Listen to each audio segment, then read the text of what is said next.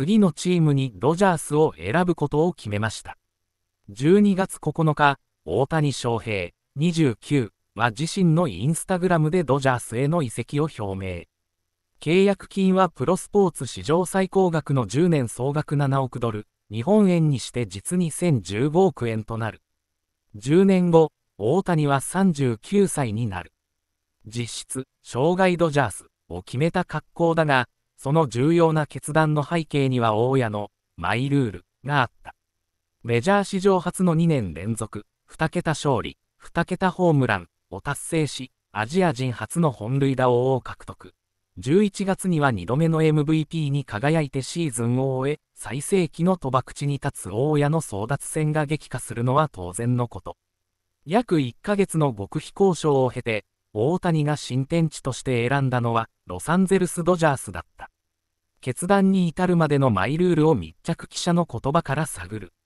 まずその1は球団の熱意。この14年間、ドジャースは大谷選手へのアプローチを怠らず愛を送り続けてきた。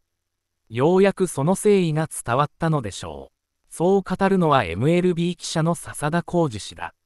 ドジャースと大家の出会いは花巻東高校時代に遡る。大谷選手が高校1年生の時、真っ先にその才能を生み出したのが、ドジャースのスカウトでした。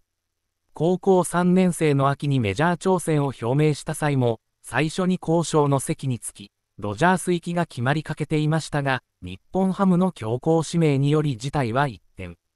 栗山英樹監督から説得を受けた大谷選手は日ハム入団を決めた、同然。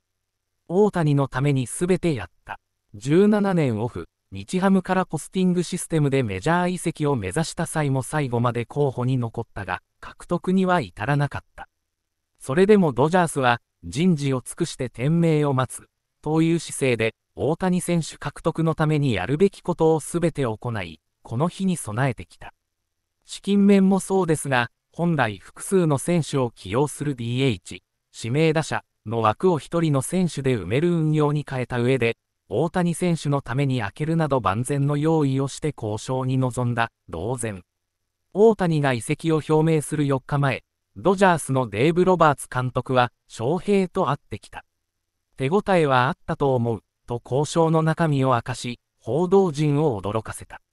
ここにマイルールに、信頼関係が見える。